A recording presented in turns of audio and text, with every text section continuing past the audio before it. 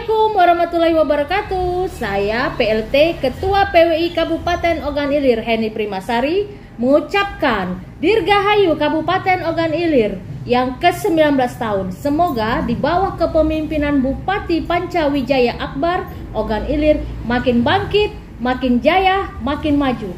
Ogan Ilir the best.